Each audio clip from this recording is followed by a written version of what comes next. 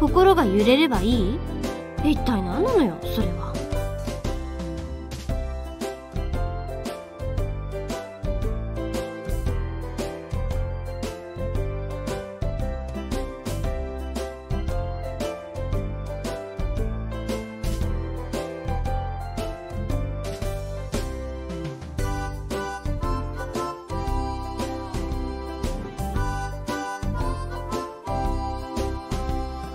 の人を舐めきった態度を改めないと。あんたに明日はないわよ。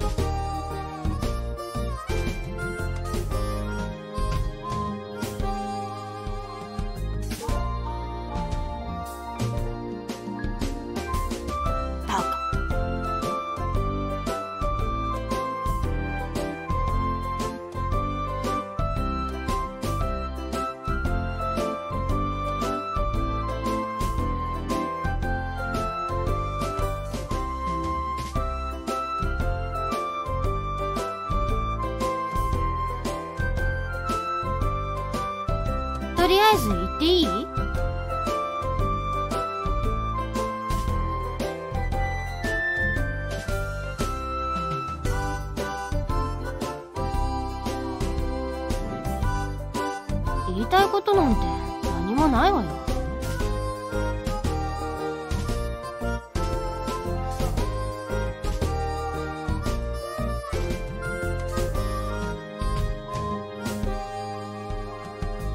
当にあんたっておかしな人よね。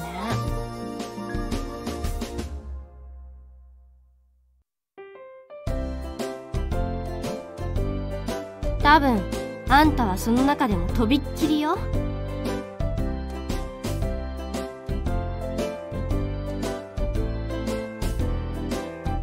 私だってたまには映画見るけど誰か一人を追いかける映画なんて見たことないわ。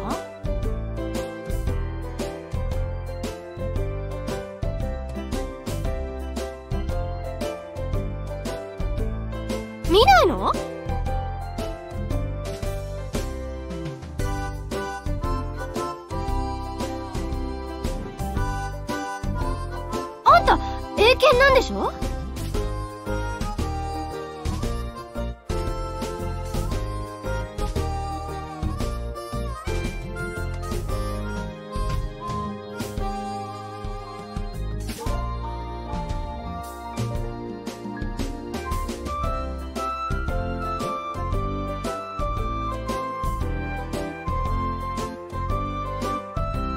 それじゃまるっきり普通の人じゃない。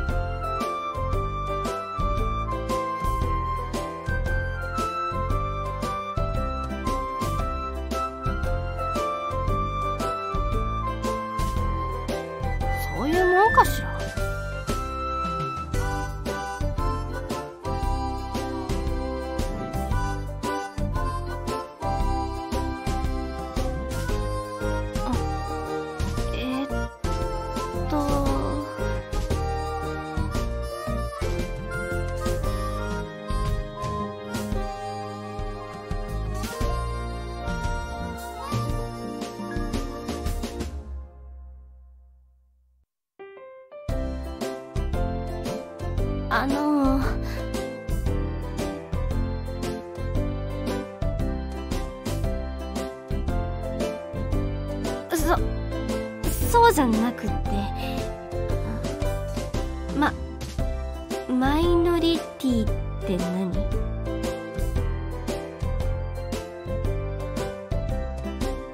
バカにしてるの？バカにしてるんでしょ？バカにしてるのよね？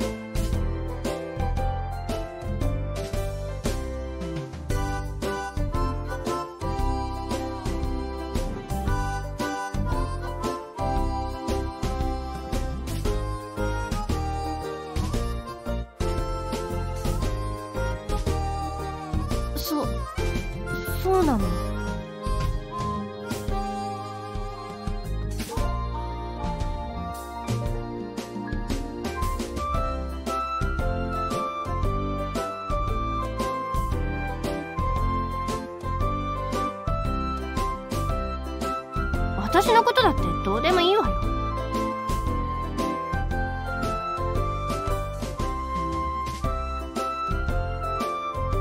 何が良くないのよ。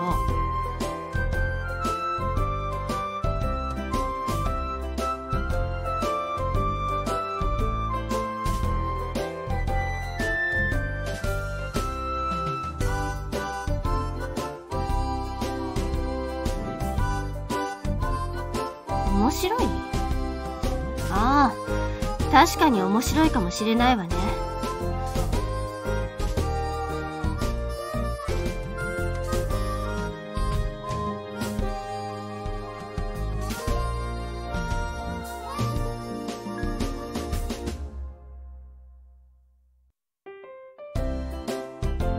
堤先輩も分かってるんでしょ？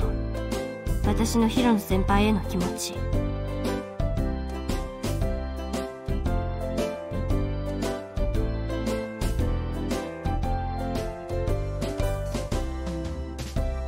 ずっと好きだった男の子に振られて本気で打ち込んでた部活も怪我してやめて。どん底にいる人間を眺めてれば面白いでしょうね。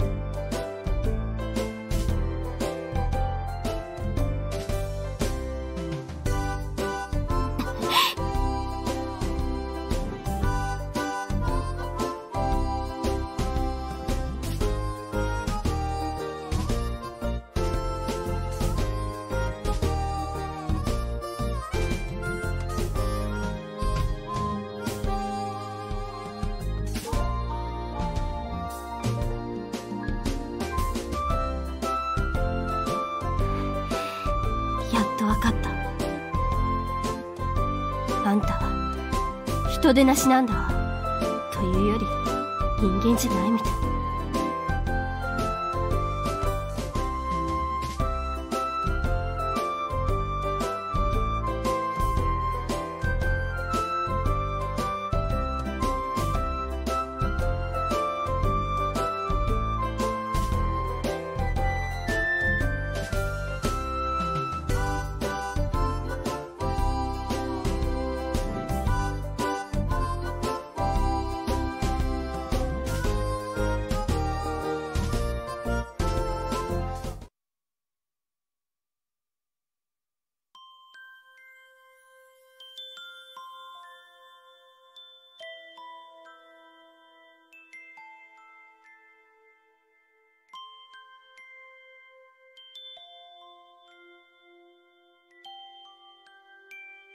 先輩って。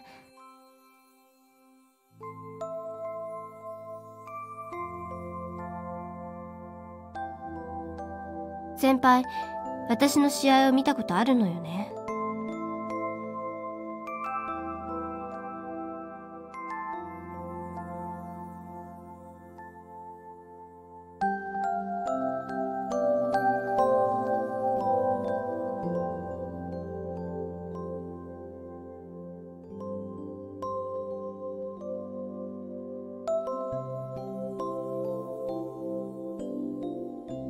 世辞なんて聞きたくない。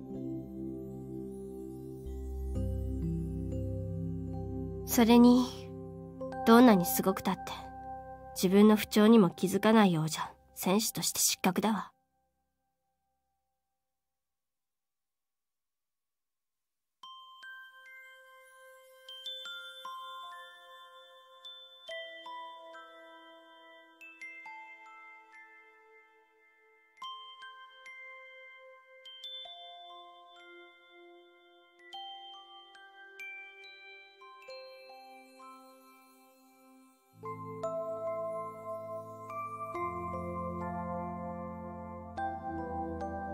内側うん側腹人体損傷とか言ってたかな。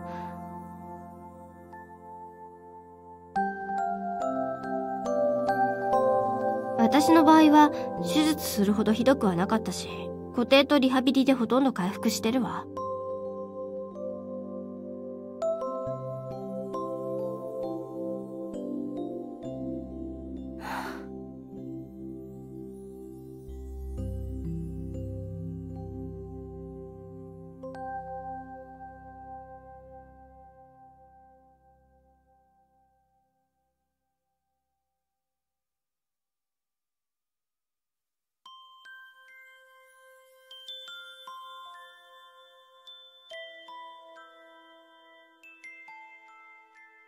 話はそんなに簡単じゃないの。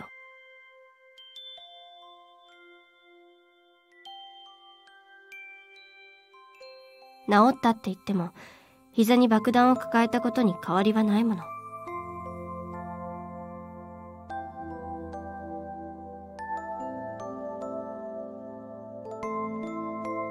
襲いかかったなんて人聞きが悪いわね。あれは悪者退治よ。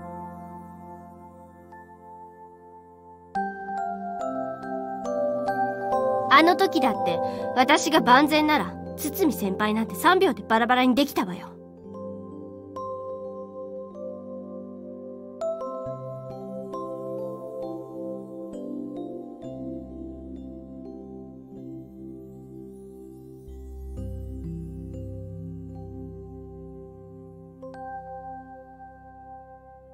そうね。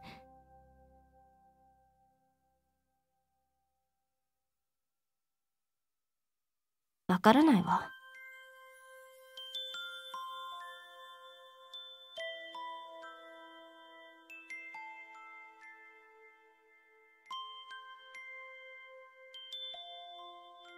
堤先輩、これまで何かスポーツやってた？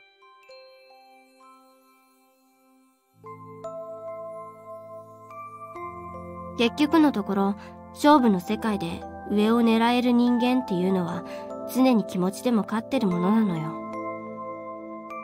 その強い気持ちを私はなくしてしまったから。転んで、うずくまって、なんとか顔を上げたその時には、どこにもゴールが見えなくなってたの。もういいの。うまく言えないけど、もういいのよ。それが今の私の現実だもの。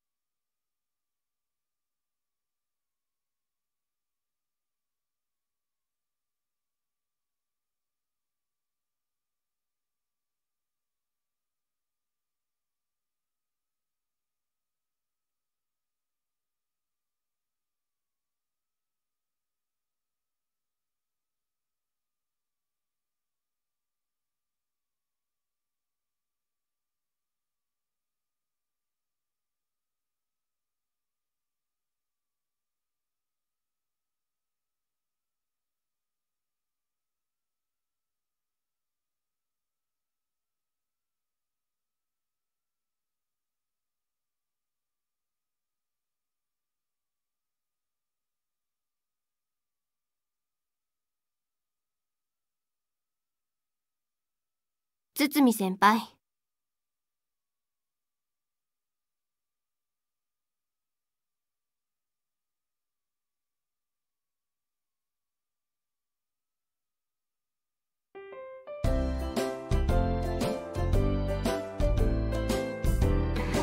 何よ。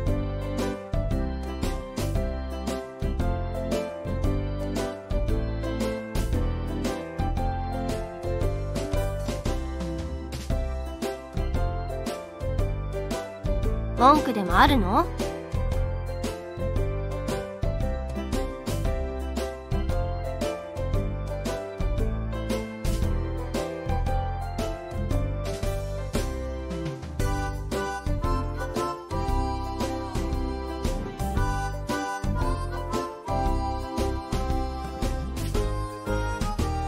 くそういうことをストレートに言えるわね。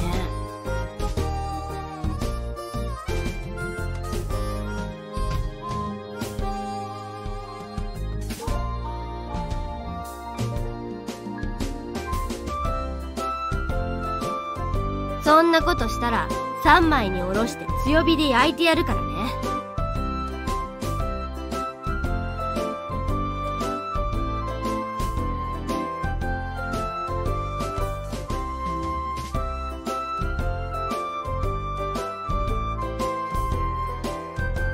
私の機嫌が悪いと先輩に不都合でもあるの？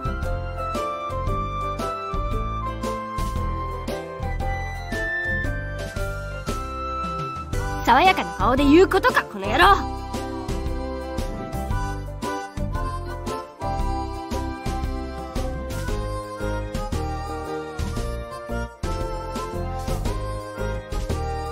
避けるんじゃない。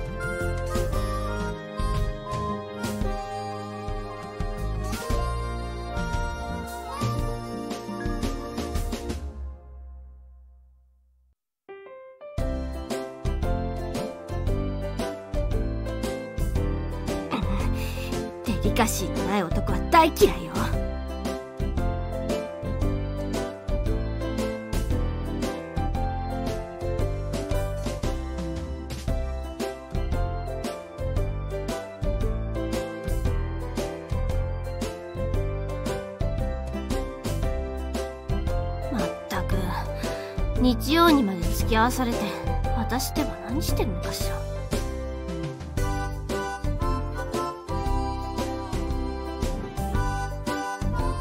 それって完全に先輩だけの都合よね。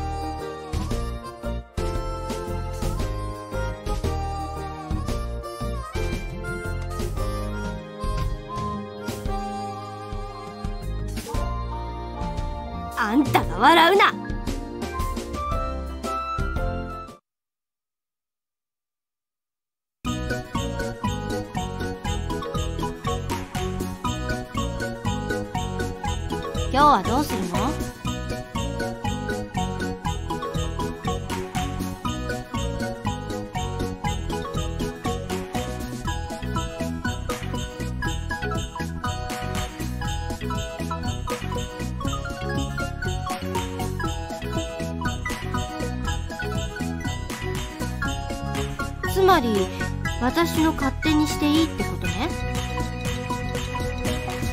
それならうん夏物でも買いに行こうかな。う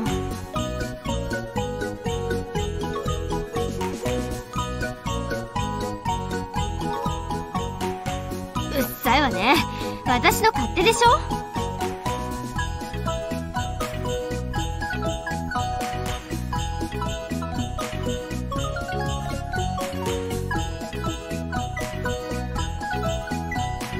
当にやかましいわね。去年までは毎日毎日練習漬けだったから私服なんてほとんどいらなかったのよ。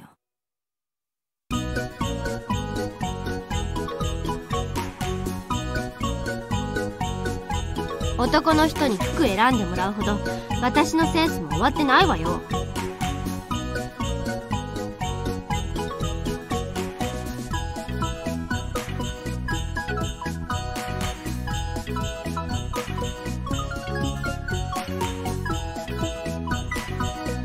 分かってると思うけどお店の中ではカメラ禁止よ。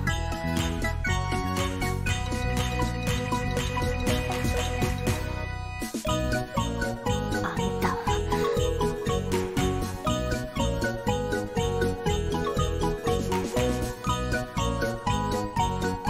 た叩けば埃が出る体じゃないでしょうね。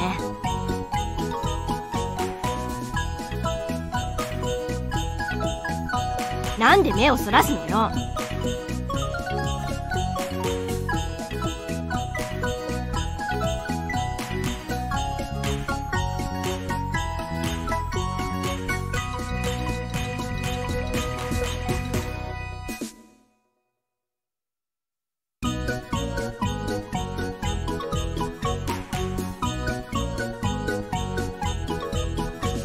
ほら話はまだ終わってな。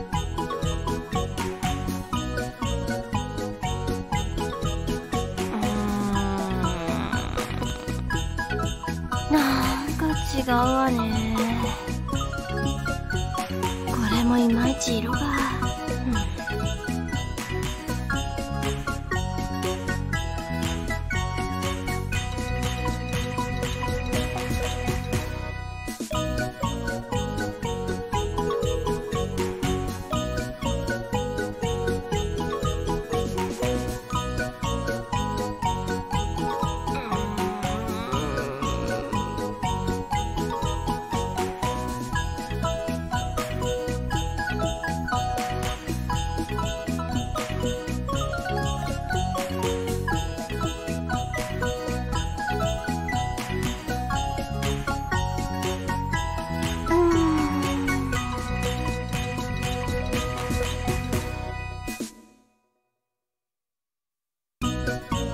なんだよ。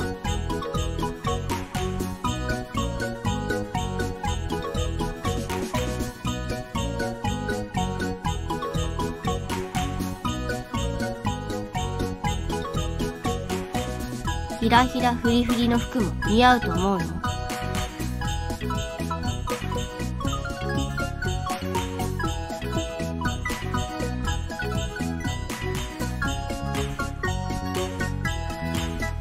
こまで言われる筋合いもないわよ。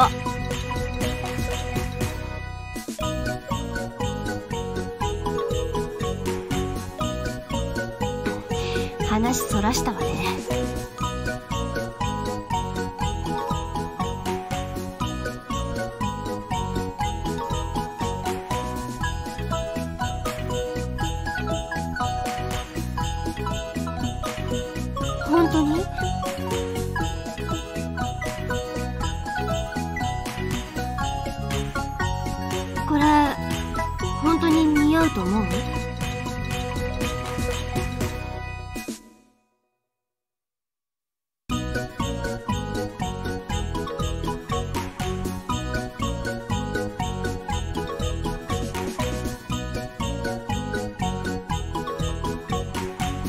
意外とってどういう意味よ？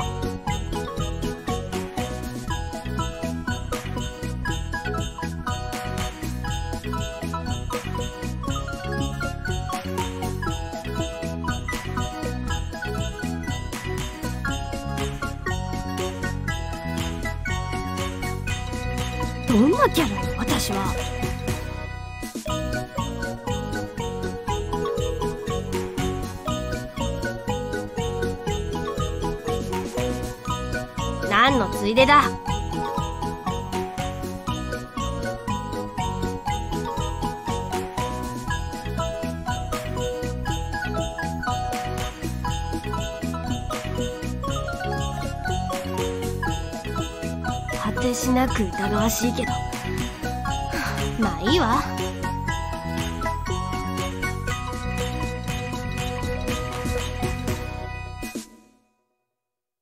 本当に似合うのね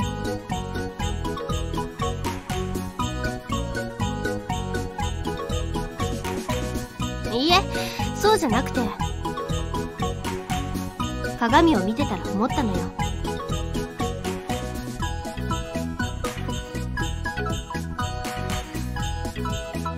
これ私に似合うんなら千尋にも似合うかなって。